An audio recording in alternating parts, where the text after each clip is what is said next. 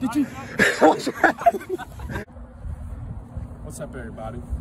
Um, my name is Charleston Webb, also known as Choddy. Um, I'm running for junior class president next year, representing the class of 2024. Um, just want to let you guys know that uh, when I get elected, we will have the best prom in the state area. All right, just want to let you guys know. Bye.